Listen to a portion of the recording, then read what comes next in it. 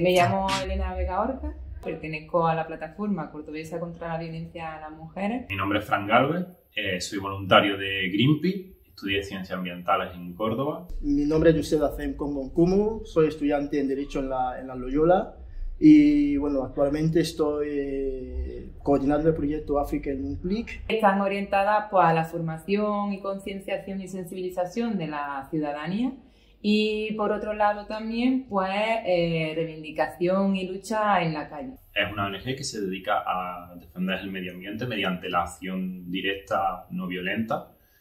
Hacemos acciones eh, pacíficas eh, señalando los diferentes problemas que hay en el medio ambiente.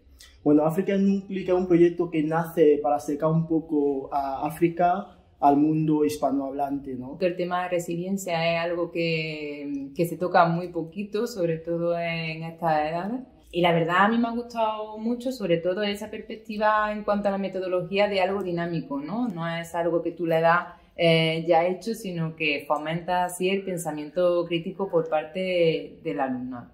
Estas charlas son súper importantes como decía antes, eh, cuando yo era joven no me llegaba nada de esa información. Quizá hemos plantado esa semilla en las futuras generaciones. No son cosas que se consigue en una sola sesión.